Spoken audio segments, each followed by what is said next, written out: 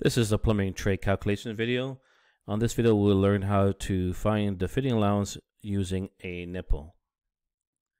First up, we should know what a nipple is. If you don't know what a nipple is, a nipple is in plumbing means a short piece of pipe, usually a pipe under 12 inches, and that would be your nipple pipe.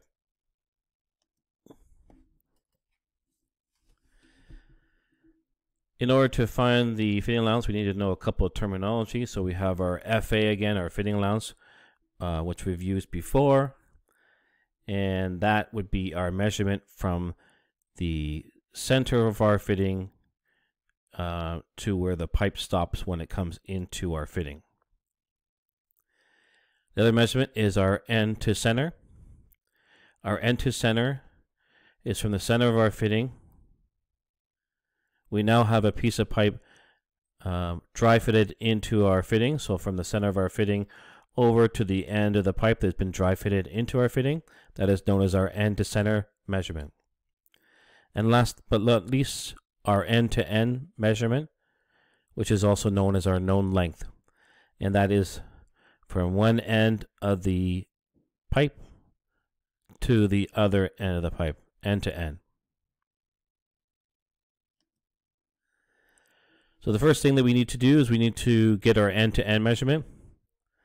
So again, before we dry fitted the piece of pipe fully into the fitting, we must measure and know what our length is. And again, our nipple piece, our known length, would probably be no longer than 12 inches for easy for easy for us to handle it. So again, we measure from one end of the pipe to the other end of the pipe before we fully insert it. The next thing we need to do is we need to find the end to center measurement.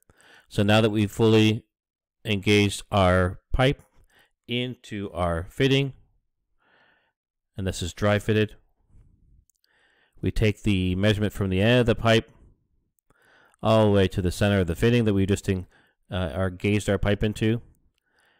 And now that is our end to center measurement. So now we have that. So now our final calculation, we take our end to center measurement, we take it and we subtract it from our end to end, our known length, and that will give us our FA. So finding our FA with a nipple piece is simply FA equals end to center, subtract end to end.